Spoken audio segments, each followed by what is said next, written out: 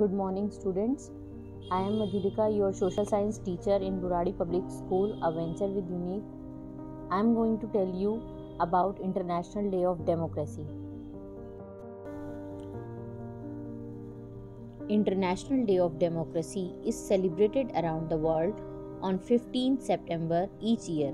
It was established through a resolution passed by the UN General Assembly in 2007, encouraging the government to strengthen and consolidate democracy. Now, students, I am going to tell you that what does it mean? What does the democracy mean? So, democracy is the government of the people, by the people, and for the people. That means it is the government in which we chose our representative, we elect our representative. As a democracy, it is essential to uphold the values of freedom, human right, and universal suffrage.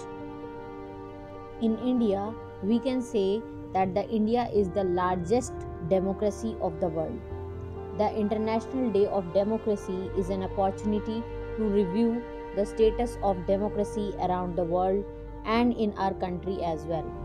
As a democracy, it is essential to uphold the values of freedom, human rights, and universal suffrage by periodic elections.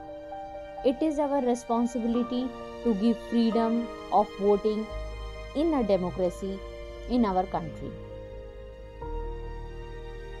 Our support for International Democracy Day stems from our core belief that democracy requires the participation of all citizens.